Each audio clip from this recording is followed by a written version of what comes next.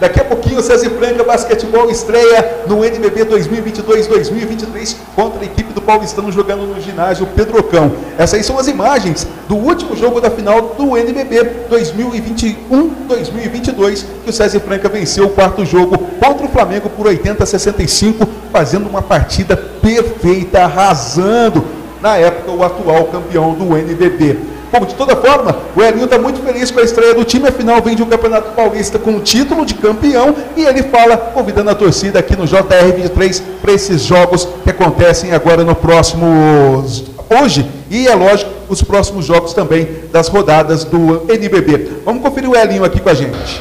Oi pessoal, final de treino aqui, dia de estreia de NBB, momento importante, especial para o César Franca Basquete.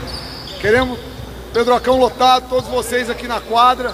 Garanta seu ingresso, seja pelo site da Quero 2 ou se não aqui na bilheteria. Contamos com vocês. Grande abraço.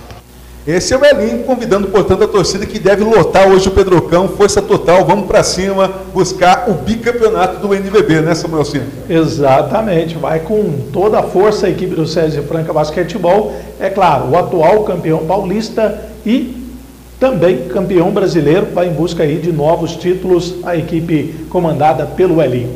Exatamente. Bom, fechando amanhã, a gente traz tudo sobre esse jogo às 8 da noite. Lembrando que amanhã também tem o Alô Amigos com o Marcos Rogério ao vivo da churrascaria Grelha de Fogo, e a gente vai trazer também muitas informações no programa esportivo com o Marcos Rogério a partir das 8 da noite de amanhã. Fecho por aqui, meu amigo.